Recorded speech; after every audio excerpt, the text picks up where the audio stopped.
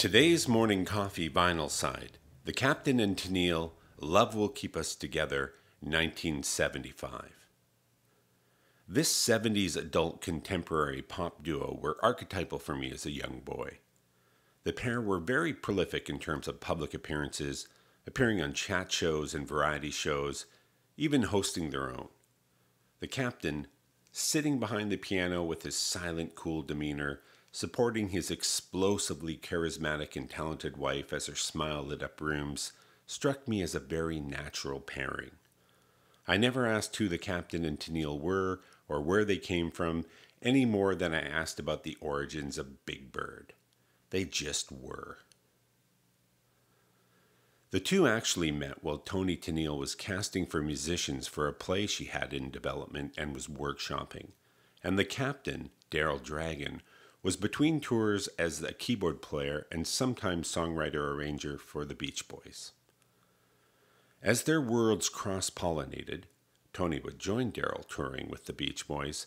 They partnered up and became, rather quickly, the Captain and Tennille, a musical power couple that, unlike the Carpenters, were not brother and sister.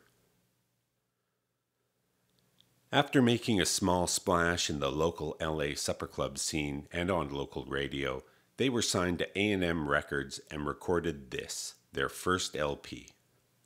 Its title track, a Neil Sedaka song, became their immediate career-defining hit, but they'd continue to record through the decade, releasing more albums and scoring more hits, becoming television and cultural icons that I remember from my childhood.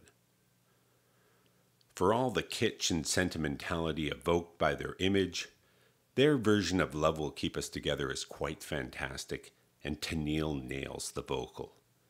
She's got tonal depth and variation in her voice that gives her enormous versatility, and her phrasing is extraordinary. She'd later go on to sing sessions, appearing on Elton John albums, and even provided vocals on Pink Floyd's The Wall. Not a line liner credit many would have predicted when this album dropped.